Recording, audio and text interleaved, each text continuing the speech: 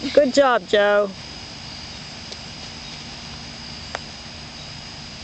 I was going to say,